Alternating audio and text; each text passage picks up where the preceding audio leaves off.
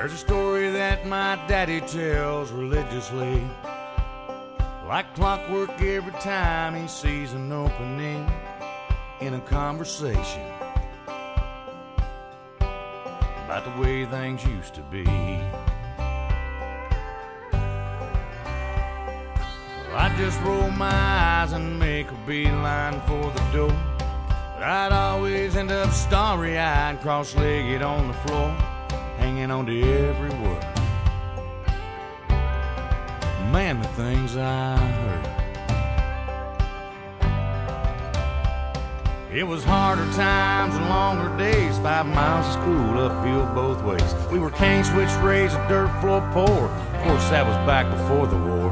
Yeah, your uncle and I made quite a pair, flying F-15s through hostile air. He went down, but they missed me by hair. He'd always stop right there and say, That's something to be proud of. That's a life you can hang your hat on. That's your chin held high,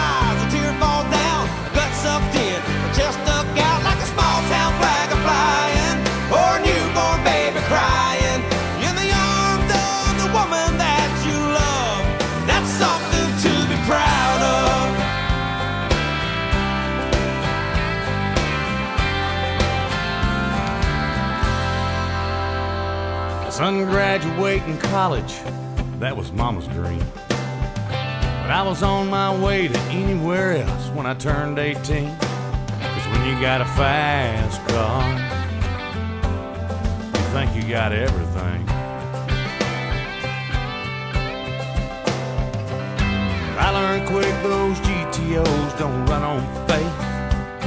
I ended up broken down in some town north of LA, working maximum hours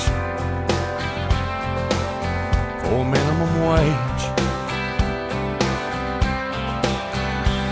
Well, I fell in love, next thing I know, the babies came and the car got stowed. Sure do miss that old hot rod, but you sure save gas in them foreign jobs. Dad, I wonder if I ever let you down, if you're ashamed how I turned out. Well, he lowered his voice, then he raised his brow.